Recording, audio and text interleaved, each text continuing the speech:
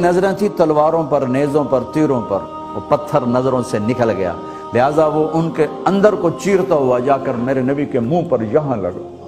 اور اب سیدھا پیچھے ایسے گئے۔ پیچھے، یوں۔ پیچھے کھڈا تھا۔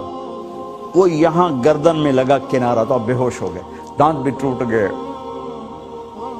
چہرہ بھی خون و خون ہو گیا۔ اب بے ہوش ہو کے یوں گر گئے۔ صحابہ نے سمجھا آپ شہید ہو گئے۔ تو سب نے زارو قطار رونا شروع کر دیا تھوڑی دیر کے بعد آپ کو ہوش آیا تو صحابہ نے عرض کی، یا رسول اللہ، اب تو ان کے لیے بد دعا فرما دے۔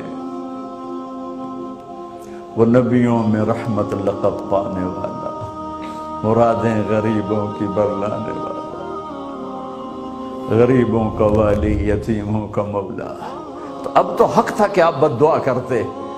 یہ سامنے امت نہیں ہے، قاتل کھڑے ہیں۔ کافر۔ آپ نے ہاتھ اٹھائے۔ صحابہ سمجھے کہ ہون انہاں دے بیڑے بڑھ گئے۔ اللہم اغفر لقومی فإنہم لا یعلمون۔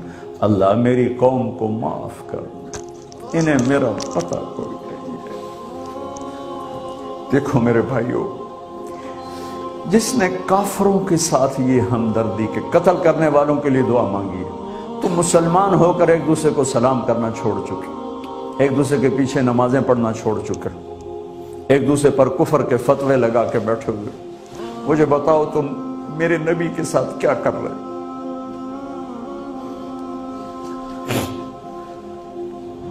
وہ تمہیں فرقوں میں بانٹ کر گئے تھے یا امت بنا کر گئے تھے؟ کیوں اس نادان کھیل میں اپنی زندگی برباد کرتے ہو؟ کیوں نے مسلمان بن کے رہتے ہو؟ اس امت میں اختلاف شروع سے ہے، ہمیشہ رہے گا۔ یہاں تک نہ جاؤ کہ ایک دوسرے پر کفر کے فتح۔ جنت میں کون جائے گا؟ سنیوں نے کہا وہابی کافر، وہابیوں نے کہا سنی کافر، بریلیوں نے کہا دیوبندی کافر، دیوبندیوں نے کہا بریلوی کافر، شیعہ نے کہا سنی کافر، سنی نے کہا شیعہ کافر۔ جنت میں کون جائے گا؟ کچھ تو بھائیو میرے نبی کی محنت کی قدر کرو۔ میرے نبی تو غیروں کو اپنا بنانے آئے تھے۔ ہم نے ہم نے اپنوں کو غیر بنا دیا۔ جو نفرت کی آگ وہاں بھڑک رہی ہے، یہاں مت بھڑکاؤ۔ جاؤ میرے دیس میں دیکھو کتنے سر کٹ چکے، کتنے سہاگ اجڑ گئے۔ کتنی مائیں بے آسرا ہو گئیں۔ کتنی جوان بیٹیوں کی مانگ ویران ہو گئی۔ کیا اسی کا نام اسلام ہے؟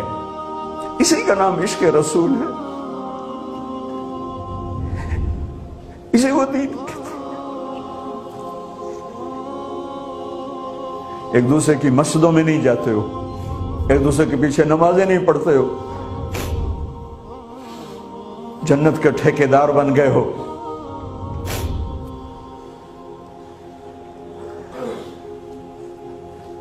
میرے نبی تو عبداللہ بن ابئی کا جنازہ پڑھانے کھڑے ہو گئے تھے۔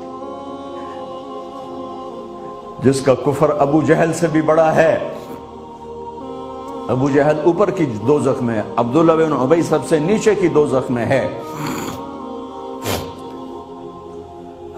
ان کے بیٹے آئے، یا رسول اللہ، میرا باپ مر گیا ہے، اپنا کرتا دے دیں گے، میں اس کو کفن دے دوں۔ ہم نے کہا، لے لو، کرتا اتار کے دے دیا۔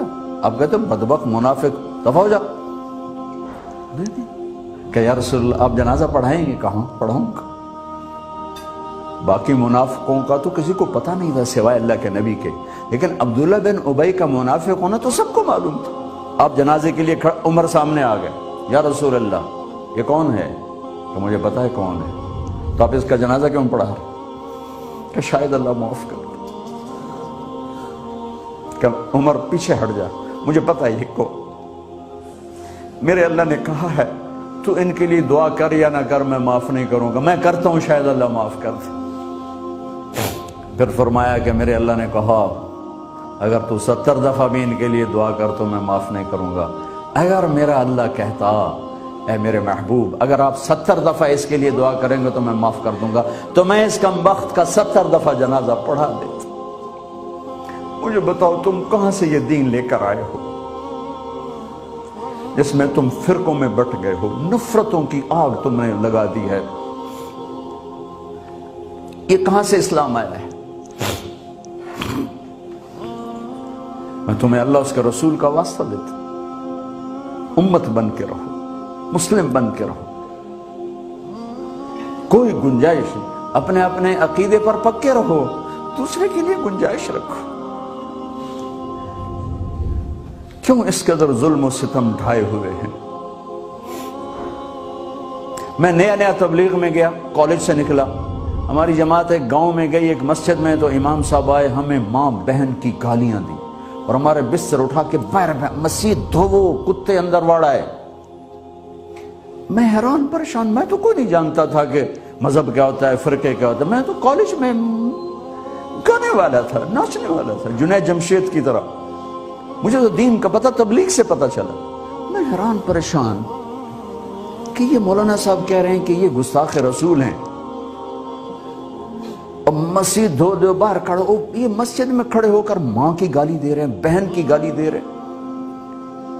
تو پھر معیار دین کیا ہے؟ اتنی نفرت۔ اس قدر دوریاں۔ اگر ہم کافر تھے تو ہمیں